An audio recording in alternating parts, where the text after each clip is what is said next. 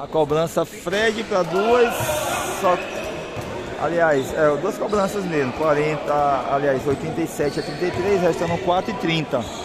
Vai para a segunda cobrança Fred. Agora sim, caiu a, caiu a segunda bola.